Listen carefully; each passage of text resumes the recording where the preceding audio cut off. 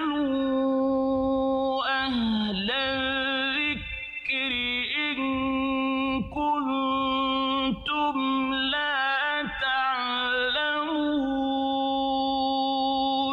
ওয়ালাইকুম সালাম ও রহমতুল্লাহ ওবারাকাতু বাংলাদেশের একদিনই ভাই মালয়েশিয়া থেকে প্রশ্ন করেছেন যে সহসাজদা এটা সালাম ফিরার পূর্বে না পরে কোনটা বেশি মজবুত হাদিস থেকে প্রমাণিত এ বিষয়ে জানাবেন।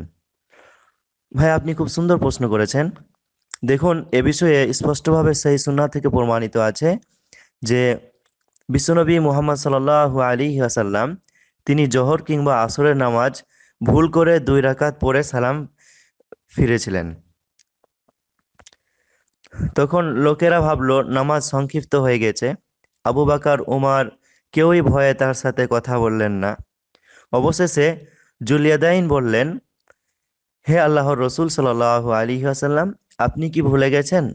নাকি নামাজ কম হয়ে গেল?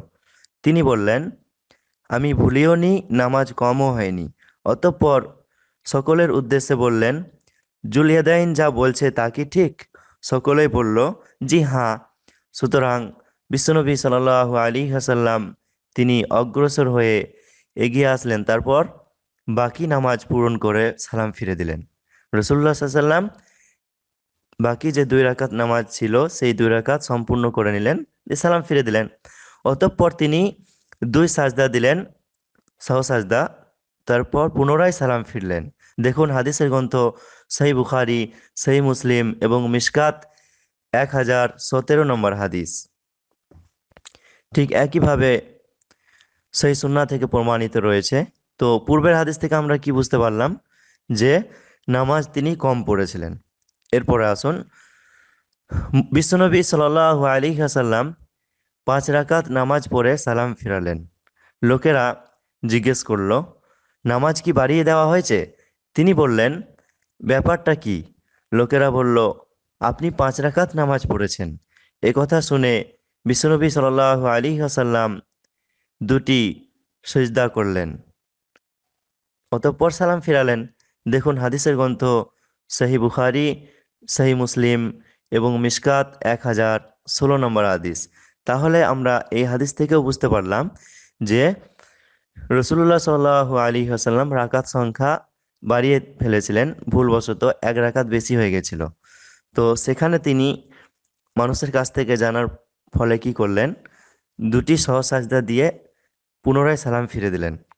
তাহলে দুটি স্থানে আমরা কি প্রমাণ পেলাম? যে রসুল্লাহ সাল আলী আসাল্লাম সালাম ফেরানোর পরে সহসাজদা দিয়ে সালাম ফিরেছেন।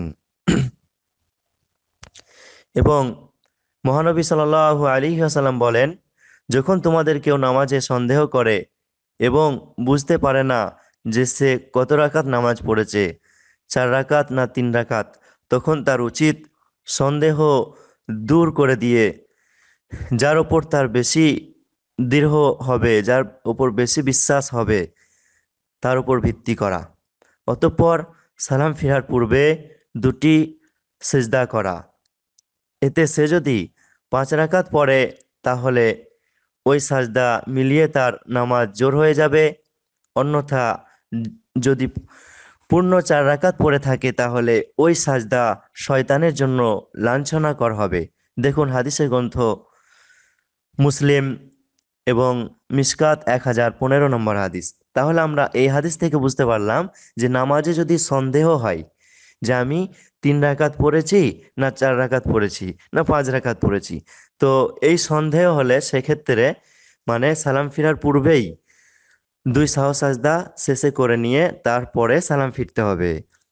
তাহলে আমরা সমস্ত রকমের হাদিস থেকে বুঝতে পারলাম, নামাজের রাকাত সংখ্যা যদি কম বা বেশি হয় তাহলে আমরা সালাম ফেরার পরে পুনরায় সালাম ফিরবো। কেননা, যেহেতু আমরা নামাজের মধ্যে জানতে পাচ্ছি না যে রাকাত সংখ্যা বেশি হয়েছে না কম হয়েছে, পরবর্তীতে আমাদের মুক্তাদিগণ ধরিয়ে দিচ্ছেন। তাহলে সেক্ষেত্রে বাধ্য যে সালাম ফিরার পরেই আমরা কি করব? সহসাজদা দিব যে পুনরায় সালাম ফিরবো। কিন্তু নামাজের মধ্যে যখন ইমাম কি করবে? নিজেকে সন্দেহ বোধ করবে যে আমি তিন রাকাত পড়িয়েছি না চার রাকাত, না পাঁচ রাকাত। তো সেক্ষেত্রে সে সালাম ফিরার পূর্বেই সালাম ফিরবে মানে সহজ সাজদা করবে, পুনরায় সে সালাম ফিরবে, বুঝতে পারলেন? তো সন্দেহ হলে সেক্ষেত্রে যেটা বেশি মানে বিশ্বাস হবে, দৃঢ় হবে, তার উপর ভিত্তি করে সে সহসাজদা করবে, তারপরে শেষে সালাম ফিরবে। এটাই হবে করণীয়। আর এই তিনটি হাদিসই সেই সুন্না থেকে প্রমাণিত সেই বুখারি সেই মুসলিম থেকে। তাই আমাদেরকে সমস্ত সেই হাদিসের ওপর আমল করতে হবে ঠিক এভাবেই যেভাবে বিশ্বনবী সাল আলী হাসাল্লাম তিনি করেছেন। আশা করি বুঝতে পেরেছেন। জাযাকাল্লাহ।